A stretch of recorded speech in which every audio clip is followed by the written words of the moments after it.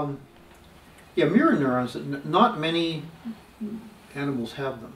I mean, we have them far and away the most. There are apparently some mirror neurons in some other primates, but nothing like what we have. And the idea was that we're trying to pick up on um, somebody else's in a hierarchy, their behavior. You know, are they, you know, is that really favorable to me or unfavorable? Is she going to throw me out of the tribe because she's the alpha female? And I think I'm, I know I've done the best thing with her. I antagonized her some way. You're screwed. Yeah, exactly. It's, it, if you threw out a tribe, you know, Yeah. you were gone. You'd perish. And so, you know, the idea was to, okay, can I interpolate my experience into I watch her behavior and try to mirror this back and understand it in a way that I can guess what theory of mind now, what's going on in her mind. We don't ever really know. We just have this uh, algorithm set running that these actions, those motions, make me believe I know what she's thinking. But in fact, I don't really know, but I can approximate. And they're good enough for government work, as it were. They're good. They're good enough to uh, be probabilistically favored in social life. Yeah, probabilistically favored. Yeah. It was we people believe they can read others' minds through this stuff, and um, that works sometimes. But you got to make sure you have the same algorithms running in your mind that they do in their mind. I knew you were going to say that. I mean, or at least I thought I did. Because cause there's a presumption that oh all of the all minds work alike, and Yeah. we know all minds don't work alike, and some people may be running a completely different operating system, Mhm. and so you can you can predict behavior of uh, you know somebody, and be completely wrong. I mean, one of the great lines is you know they ask Ramana Maharshi, can how can you tell if somebody's awakened or not? These are the words, but in the context of South India, he said, well, you can't tell because well, I look at his actions and he believes he acts this way and that way, so he must must be or must not be. He said, can't tell. Mm. You can't tell that way at all. Actions are no predictor. So our mirroring behavior, our neurons would tell us, well, we can see from their actions what they must be thinking. And he's saying, and I think we found the same thing, is that you can't do that because the actions have really no reflection of what's going on inside if there's really nothing going on inside. Well, what's so interesting about that is then the way you uh, uh, you know describe mirror neurons here. It describes why it is that we don't feel like our own our consciousness is our own. In other words, that it encourages us to think that there is a kind of space of common consciousness, consciousness and consciousness is outside of us, Mhm. right? I mean, in fact, it's very telling that Ramana Maharshi would say, "Well, you can't tell," because if you could tell, there would be something other than this experience of the pure field of awareness Mhm. that we are, Mhm. rather than feeling like there's this field of awareness over here that knows that field of awareness Right. over there. Right. So part of the hump I find in, uh, you know, just talking and working with people and uh, teaching and just in dialogue is getting to the point where you break that habit of simply understanding one's own consciousness through the mirroring in another consciousness. Because it's not just that we're trying to guess at another's consciousness, but that that loops, mm-hmm. that our own consciousness becomes now after a while nothing but the guessing after mm-hmm. the consciousness of another, mm-hmm. never experiencing the capacity that is there underneath to be conscious at all.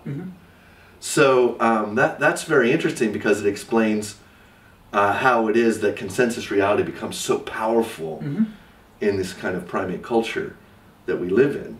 Well, but we are heavily, you know, you well know, lemmingly like uh, bred that way. Oh, I agree we, with we, you. We, we evolutionarily, Darwinianly adapted so that we could be together and cooperate. And the mirror neurons helped us cooperate Right. because, you know, I, I, I know what they're thinking. We, she wants to do this.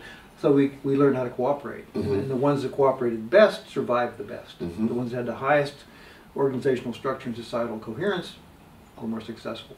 And so we eventually bred that into our species. And now we see somebody has a very different consciousness, a very different operating system. We still believe they exactly think like we do, that it is, you know, group mind, but it is not group mind. And then when there's evidence that uh, they don't think like we do, we, we begin building a pyre. and, and we put them on there. Somebody heard them. exactly. Um, no, but it's very interesting because it says, okay, now we're in this point of the evolution of consciousness where we know about mirror neurons, Yeah.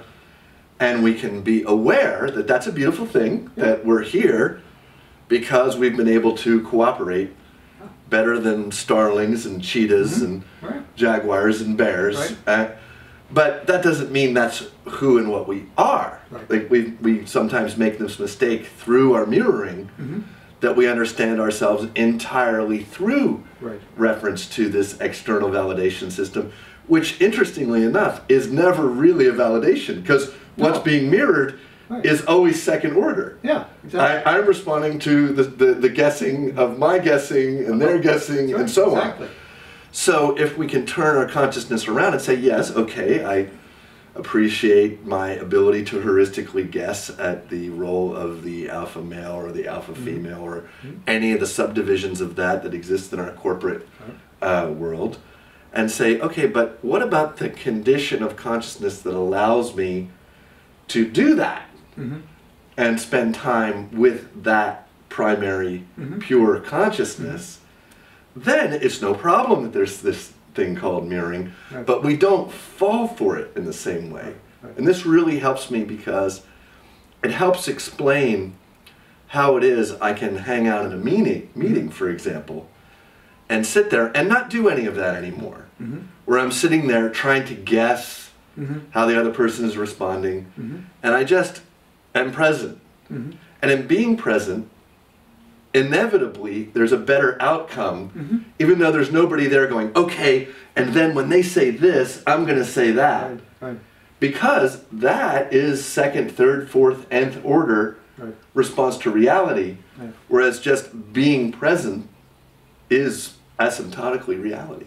Well, as you point out, being, being a meeting, if you're completely empty, you're not participating yourself in this game of back and forth, back and forth. You know, I, I understand myself through her reaction to me. Yeah.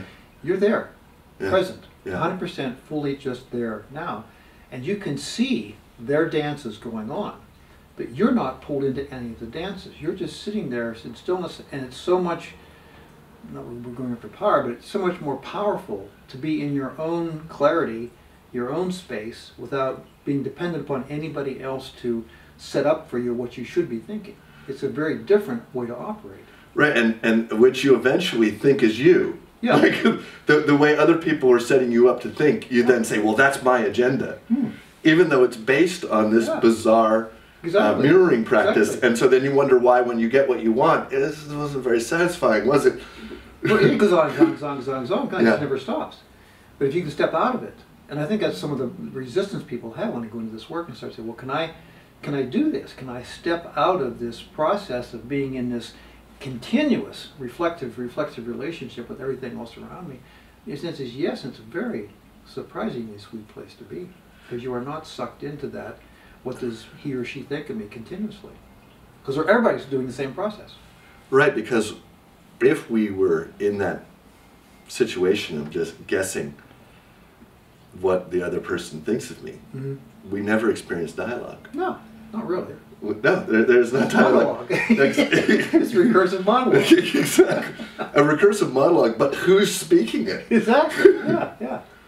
So, uh, you know, this this uh, this meditation on mirror neurons then can be very useful because Yeah. it can allow us to sort of like you know give thanks, you know, sort of render under Caesar that which is Caesar's, render under consensus reality that it Right. that which is consensus reality. But we're not going to grow. We're not going to get anywhere if all we're involved in is this endless feedback loop between Yeah. guesses at, who- at who the other person, Yeah. at what the other person is approving of. Well, what you touched on earlier too. How can you possibly be creative, really creative, if you're hooked in these recursive mirroring loops? Yeah. You've got to get step out of that and be in an own new, clear, empty space. To have a chance to be truly creative, and it, it can arise out of that creates clarity. If not that, you're just nothing but a bunch of mirrors, mi- literally mirrors mirroring each other back and forth. How can you get anything creative out of that? Yeah, you're lost in the funhouse, and it's no You're fun. lost in the funhouse. You don't even know where the mirrors are. They're every place. and there's no space for love because No. then you're never actually responding Exactly. to another person. Exactly. You're, you're- you're responding to this kind of mediated display that Yeah. got us through being a social animal. Right. But now we know about that. Exactly. So we're aware. You so can we step can. away from it then. Yeah.